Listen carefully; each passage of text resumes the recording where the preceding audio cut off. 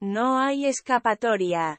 Se pensaba que la salida de España del rey Juan Carlos iba a terminar con todos los problemas que él podría ocasionar tanto en el país como dentro de Zarzuela.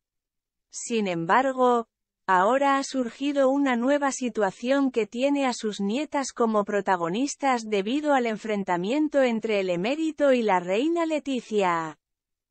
La fecha de su regreso a España resulta una incógnita debido a que no es una figura bien recibida por la familia real.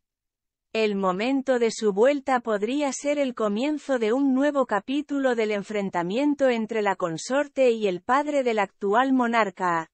En este caso, la princesa Leonor cumple un rol fundamental en el enfrentamiento debido a que, al parecer, su abuelo tendría como objetivo reunirse con las hijas del heredero y de la reina Leticia, quien ha pegado un grito en el cielo cuando se enteró y es la primera opositora a que esto se concrete. No obstante, habría fecha para que la princesa de Asturias y el rey Juan Carlos tengan su reencuentro. Es que el 31 de octubre, la heredera a la corona dará un paso clave en su carrera como futura jefa de Estado cuando jure lealtad a la Constitución española y el emérito tiene todo diagramado para asistir a la ceremonia. El emérito tiene todo diagramado para asistir a la ceremonia.